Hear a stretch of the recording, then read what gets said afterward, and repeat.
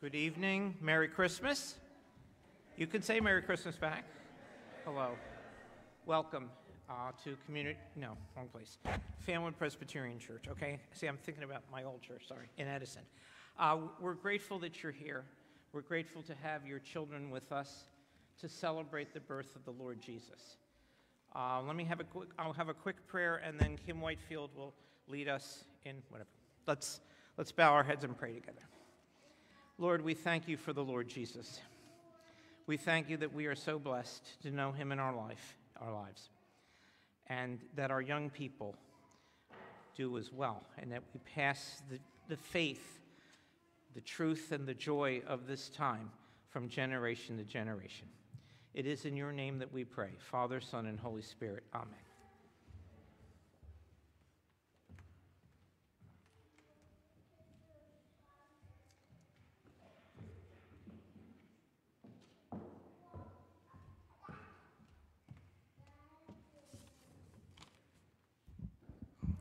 Please join me in the call to worship.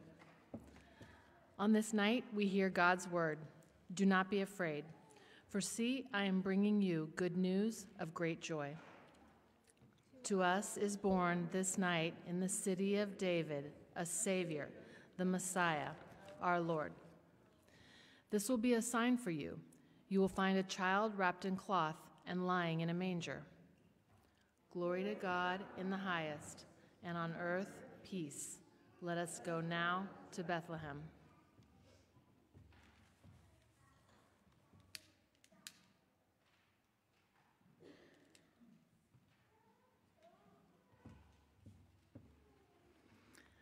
The light of the world has been born.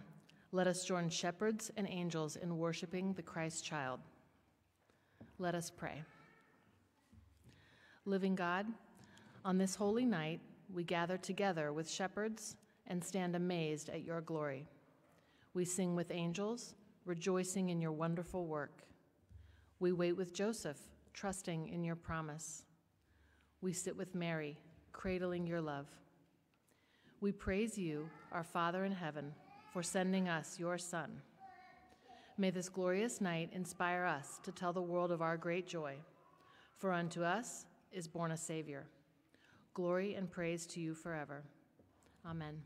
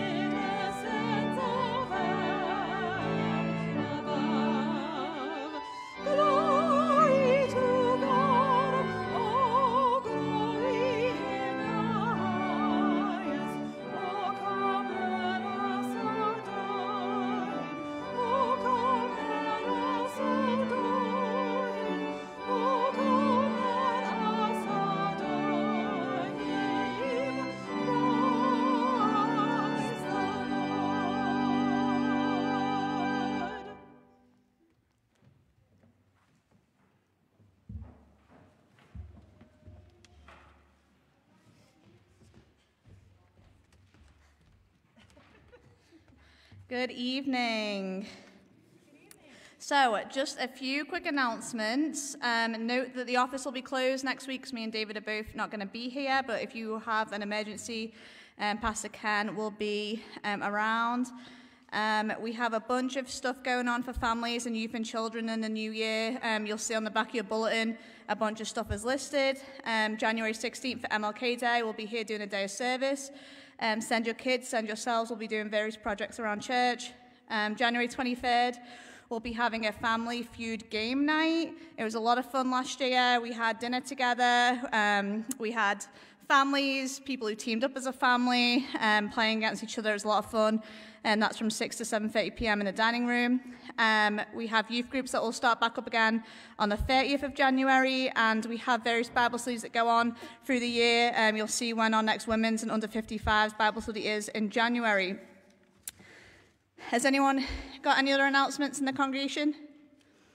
All right, awesome. Um, I am going to say a quick prayer, and then we um, can watch our kiddos um, share us the story of when Jesus was born. So let's pray. Dear God, um, thank you for this evening that we have together on Christmas Eve as we remember the day that you sent your Son um, to save us from ourselves and show us what unconditional love looks like. Um, I pray as we worship you this evening that we take this moment to turn our eyes to you.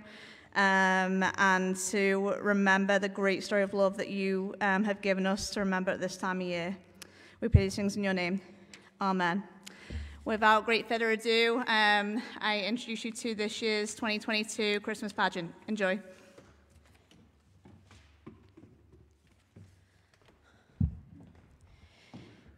This is the story of the first Christmas, the night Jesus Christ was born. We celebrate this to remember the hope and joy that this tiny baby brought to the world on that extraordinary night in Bethlehem over 2,000 years ago. For Jesus' birth did bring hope and joy to the world. Hope because at the time there was much wrongdoing and fighting on the earth, and people were looking for a sign from God that He would always be there to look after them. And joy because after many years of waiting, God had finally fulfilled His promise to teach a man, a Savior, a Messiah, to send a man, a Savior, a Messiah to earth to go among the people and teach everybody his peaceful and loving ways. That man would be God's greatest gift to mankind, his son Jesus Christ. To prepare the world for this man, God asked different men and women to prophesy or foretell that Jesus was coming. These people were called the prophets. This is what they said. And it means God is with us. For unto a child will be given, for unto a baby will be given. Wonderful, the Prince of Peace, and there shall be no end to his kingdom.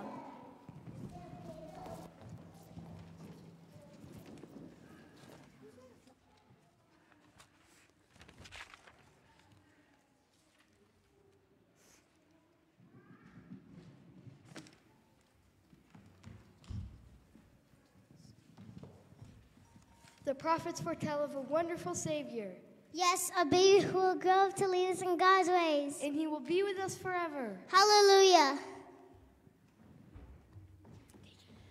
Now, when God was ready to give Jesus to the world, he chose a good and pure woman named Mary to be his mother.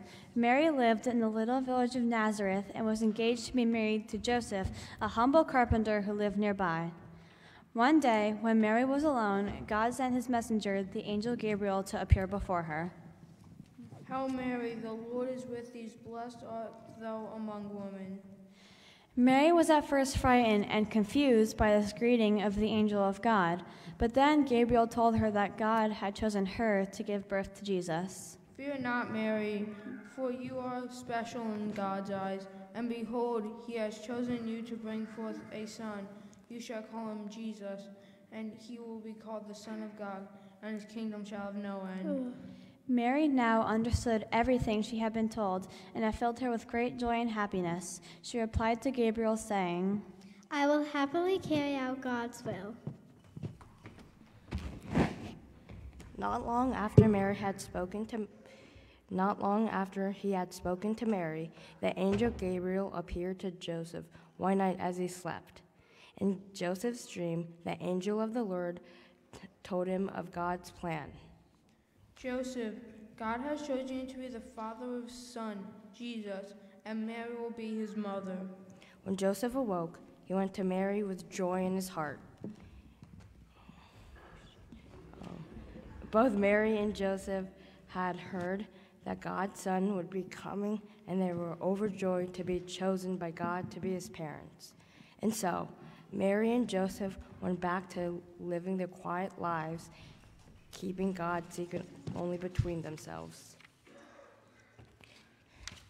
Now, at that time, they lived, they lived and was ruled by the Romans, who were mighty, but wicked rulers of an enormous empire. The chief ruler, a man named Caesar Augustus, was mean and greedy. He wanted to tax everyone in the land to raise money for himself and the Romans, so he issued a decree.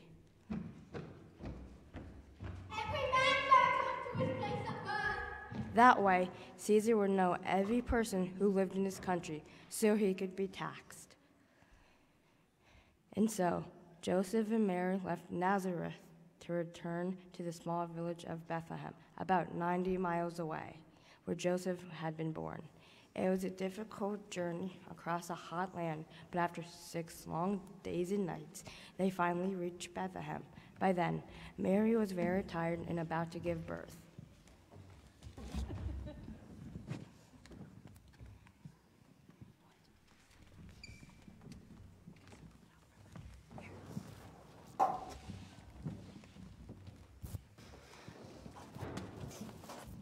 We have traveled a very long way, and my wife is very tired. Is there any room at your inn? Doesn't make it any quieter, does it? Oh, when they arrived, the city was already very crowded with other people who had come back to be registered, and all the inns are full. But Joseph shot at shelter at anyone's anyway, in the hope that someone might spare room for Mary. And so it went at every inn.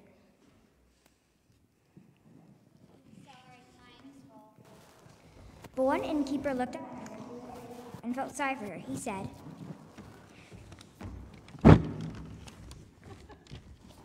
Wait, are we supposed to exit to back? We thank you very much for your kindness, sir. The stable was for animals for the donkeys, cows, and sheep that people had brought with them. But Mary and Joseph were grateful for any shelter they could get that little night in town of Bethlehem.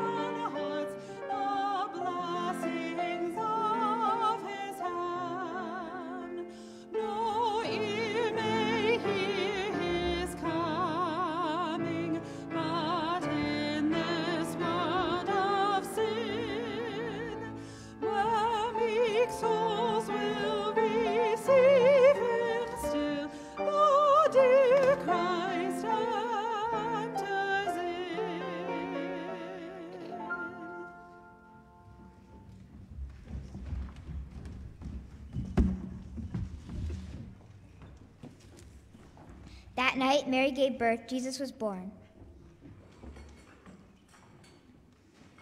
Hallelujah. The Lord Jesus Christ, the King of Kings, the everlasting Prince of Peace, for he is called all these things, was born to a simple carpenter and his wife. And to make the baby Jesus comfortable, Mary wrapped him in swaddling, clean strips of white cloth, and laid down gently in the soft hay in the manger, the animal's feeding box.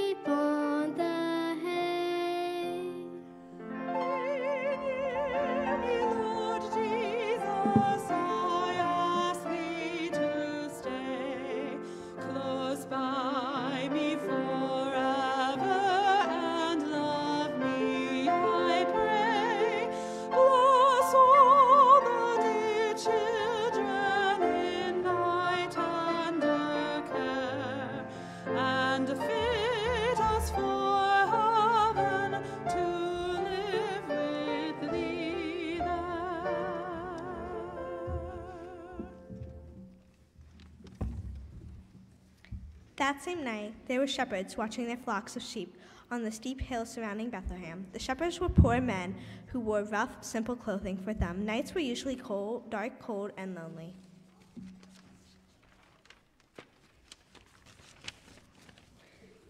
But the, but that but the night that Jesus was born, the angel Gabriel suddenly appeared above them in the sky. The shepherds had never seen the angel, and they were um, were frightened. But the angel of God soon comforted them, saying, Fear not, good shepherds, for I have wonderful news. Today in the city of Bethlehem, a child was born. This child shall grow up to be our king, not just any king, but the king of all kings, the world's Savior. Please tell us where we can find him. You shall find the baby wrapped in swaddling clothes and lying in a manger. Then suddenly a whole host, a multitude of heavenly angels, appeared in the sky, and they heard or announced the news of the baby Jesus.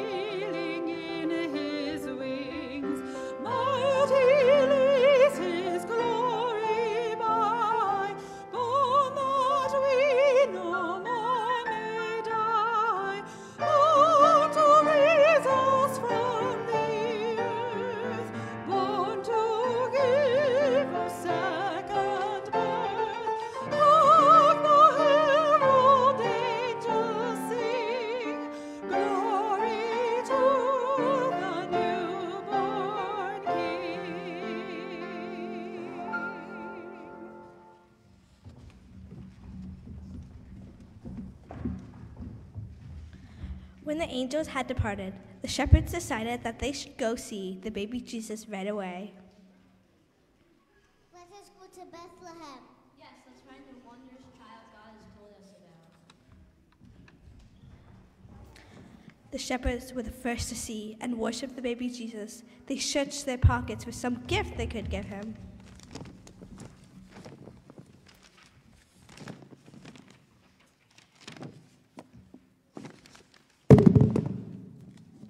What have I give king? I'm just a poor shepherd. If only we had riches to honor him by. Brothers and sisters, we can offer him our faith. Let us kneel before him and pray. Faith and trust in Jesus were all that mattered to God, and for the shepherds, just seeing Jesus filled them with hope for all people. Joy to the world, they cried. The Lord, our Savior, has come.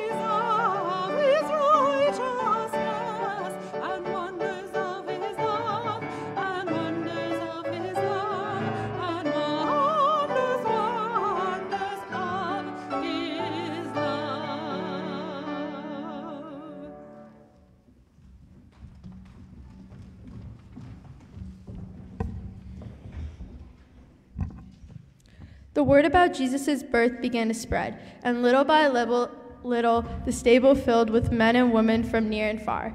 Children came too, but they were shy at first, until Mary beckoned them to come forward.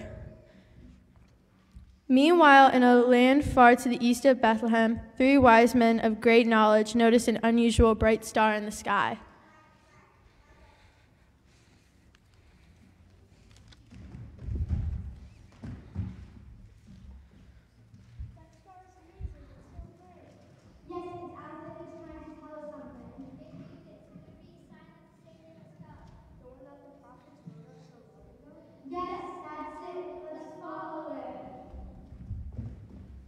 Upon their camels, the three wise men, or Magi as they are now known, journeyed for several weeks, faithfully following the star shining brightly in the sky, until it stood over the little stable in Bethlehem where the holy infant lay.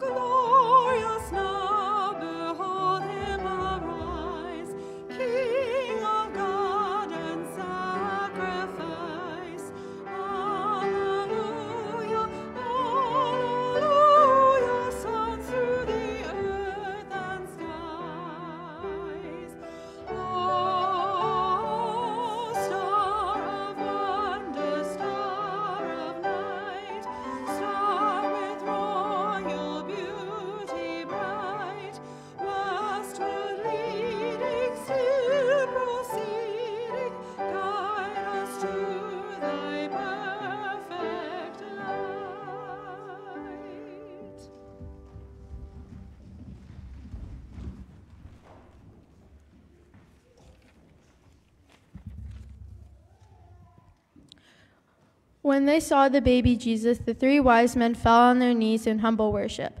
They lay at the feet of baby Jesus, the valuable treasures they had brought with which to honor him. The first king gave him gold. The second king gave him sweet smelling frankincense. And the third king gave him perfume like myrrh. For they knew they had at last found their Savior, God's Son, who had come to bring peace on earth on that silent and holy night.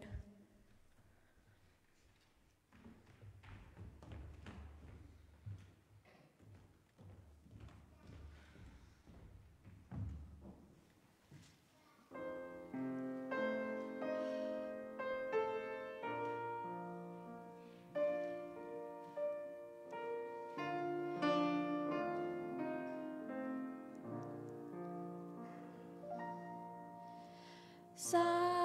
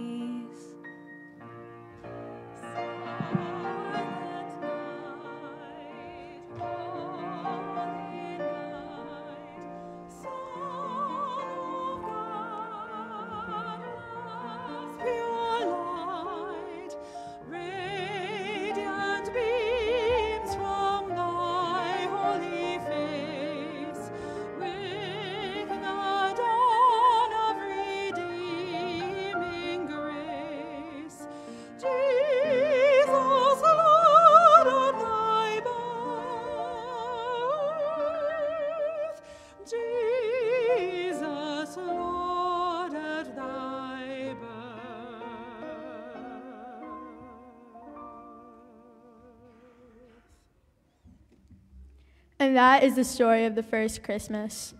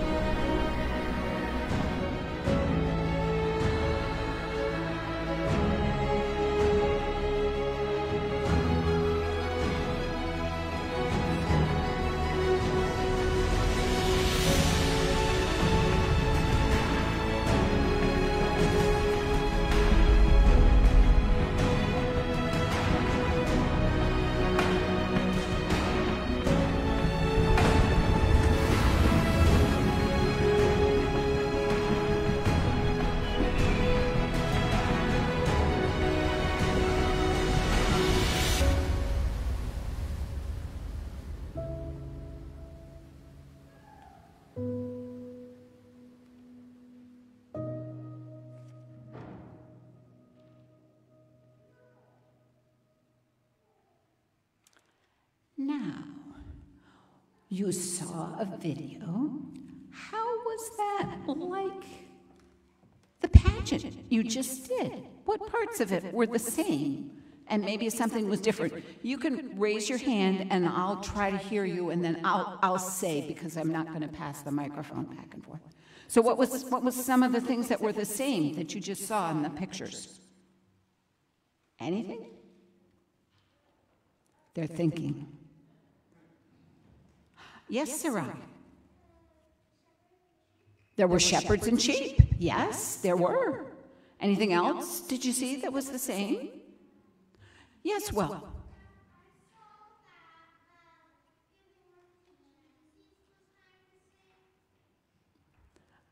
I'm sorry, I didn't quite hear you. If somebody could say what Will just said. Uh, Oh, giving birth to Jesus. Yes, thank you, thank you. I should have thought ahead to have a microphone down there so that we could we could interact with one another. But yes, there were lots of things that different pictures, obviously different pictures than what what we've just seen, but some of the things were very much the same. As a matter of fact, I was thinking about the fact that tonight we are celebrating and hearing what's been called the old, old story of Jesus and his love. It's a familiar story. I mean, you know, it's one we hear every year this time. Mary, Joseph, angels, shepherds, wise men, a manger for a bed, a donkey, camel traveling, a shining star. But I want us to really think about this story and why it's so important that we tell it every year. And we have a pageant every year, too. Some of you have been participating in this pageant since you could walk and talk. Miss Lauren would say that the middle schoolers have now advanced from being prophets, townspeople, shepherds, angels, and kings to being narrators. Yeah, the narrators, there they are. I see them in that front row. Excellent. Some would even say that the costumes you are still wearing are the ones you wore last year, or perhaps your older brother or sister wore it before you. With all that history, you really didn't need to memorize your lines, did you? I mean, you do it over and over again. Uh, some of you still had to have your papers, though. It's, it's it helps. I, I still have my paper here, too. Many churches have their own versions of a Christmas pageant with slight variations. Sometimes they have a real baby or real animals. Some shepherds may wear bathrobes, and kings may have robes of velvet. Sometimes Mary and Joseph don't talk at all, while an adult reads the story from the Bible. Some pageants are held outside. Now, tonight that would be a little brisk, with costumes worn over coats and finger warmers. Some are held inside the church, and participants play all the parts. For several years, I got to play the part of the star at our former church in Edison. I wore a special star costume. A favorite story of mine about Christmas pageants is called The Best Christmas Pageant Ever. It was written by Barbara Robinson. Some of you adults may remember that it was also made into a movie and a musical. Anyway, this pageant story opens with the longtime director of the pageant falling and breaking her leg. So the mother of the narrator, hereafter called Mother, has to step up and direct the pageant, which should be easy since everyone in their small church knows who will play each part. They play these same parts every year. The narrator's friend will be Mary, the minister's son will be Joseph, the youngest children, little angels and shepherds, and the older children, part of the angel choir, with the oldest boys as the wise men. However, the usual plans for this church are completely upended by the arrival of the Herdman children, a family of six, described as absolutely the worst kids in the history of the world. They lied and stole and smoked cigars, even the girls, and talked dirty and hit little kids and cursed their teachers and took the name of the Lord in vain.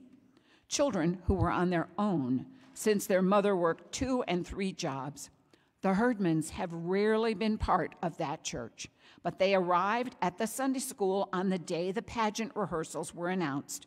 The Herdmans proceeded to take over all the parts of the pageant Mary, Joseph, the three kings, and the angel of the Lord. What is interesting is that for the Herdmans, the pageant story is brand new. And his mother begins to read from her Bible. They keep asking questions, trying to understand why Jesus was put in a feeding trough. And why didn't Joseph argue more for a real room? They wanted to beat up King Herod and couldn't understand why the cheap king handed out oil for a present. That wouldn't help a baby.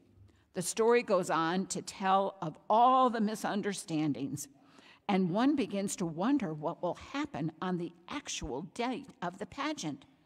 That night, as the narrator describes, the herdman Mary and Joseph look just like the people you see on the evening news refugees sent to wait in some strange and ugly place. The narrator goes on to say that she realized that this was just the way it must have been for the real Holy Family, stuck away in a barn by people who didn't much care what happened to them. They couldn't have been very neat and tidy either, but more like this Mary and Joseph, with uncombed hair and smudged faces and clothes that were not on perfectly straight. The herdman Mary even held the baby doll Jesus slung up over her shoulder, and before she put it in the manger, she thumped it twice on the back, as if it were a real baby. The herdman angel of the Lord shouted to the terrified shepherds, Hey, unto you a child is born, as if it was the best news in the world. And then the wise men marched up bringing a ham from their own food basket instead of the fancy bath salt jars usually used for the myrrh and frankincense. It seemed that the herdmans had improved the pageant a lot just by doing what came naturally, like burping the baby and thinking a ham would make a better present than a lot of perfumed oil. The narrator goes on to say that she had originally explained to the Herdmans that the pageant was about Jesus, but that was just part of it. In watching the Herdmans come to understand and interpret the mystery of Jesus' birth from their own lives, the narrator saw this story of a new baby and his mother and father who were in a lot of trouble. No money, no place to go, no doctor, nobody they knew. And the wonder of shepherds and wise men arriving with practical gifts, and an angel of the Lord shouting, Listen up! This is good news. This is good news, and it must be told over and over again from different perspectives, all pointing to the miraculous fact that God in Jesus became a human being, a human baby who would grow up, live his life, and teach us how to truly love one another. He will show that love by dying on the cross to save us from our sinful selves and rising on Easter Day to victory that is the best news ever. The story told in this pageant and thousands of others is wonderful, miraculous, and the best good news ever. And now, at this time, we are grateful to invite Miss Zara up to sing for us, and we will um, accept our evening offerings. Um, and those of you who are watching online, remember you can still give um, through links online.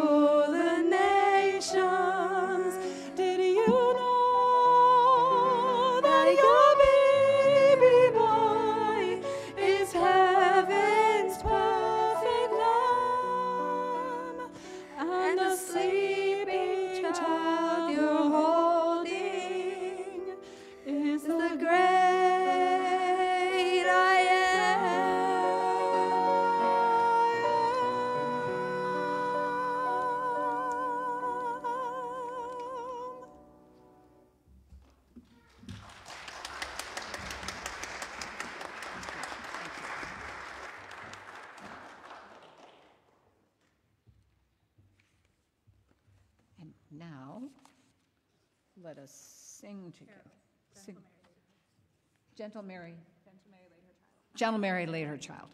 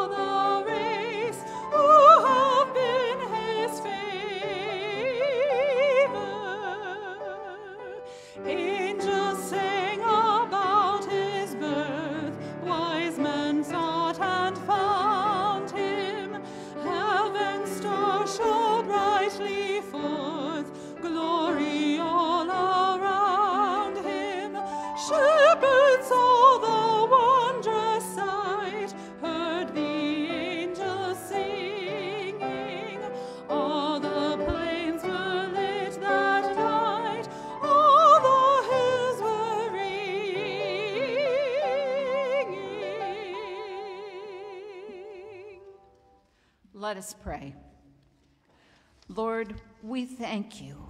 We thank you for the abundance of gifts that you have given to us. We thank you for the gift of the children who have brought joy and song to our lives this evening. We thank you for the gift of music. We thank you most of all for the gift of yourself. And Lord, we thank you that this night you became one of us, that we might know and so- serve and love you better. And we pray for those who do not have what we have this night, those who are cold and hungry, those who have no place to lay their head, those who are at war, our troops, Lord. We ask your blessing upon them and all of the, the folks that are taking care of our lights and wires. We pray for friends across this country who are snowbound because of cold and snow. We ask that you would be with them. We lift up to you folks that we are concerned about, people that are grieving this night. Lord, thank you that you are with us all and that you teach us how to pray and be with one another. And we pray together the prayer you've taught us Our Father, who art in heaven, hallowed be thy name. Thy kingdom come, thy will be done, on earth as it is in heaven. Give us this day our daily bread. Forgive us our debts as we forgive our debtors.